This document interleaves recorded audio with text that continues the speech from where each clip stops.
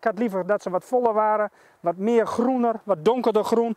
Maar voor de rest, uh, ja, de klant bepaalt toch uh, welke boom ze kiezen. In de afgelopen twee droge zomers hebben een behoorlijke ja, groeiachterstand uh, veroorzaakt.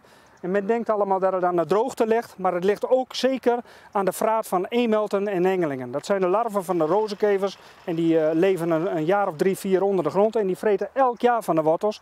En elk jaar herstellen wel de bomen, alleen ja, dit jaar hadden we geen water. En uh, geen water en toch vraat zorgt voor een enorme groeiachterstand.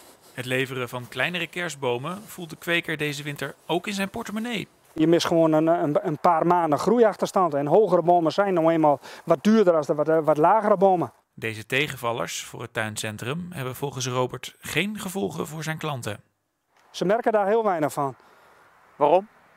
Omdat de, de boom is gewoon uh, een bepaalde grootte en hij past precies in de hoek van die kamer en op dat tafeltje. En, uh, dus ze kiezen hun eigen boom. De, het, zoeken, het zoeken blijft altijd lastig.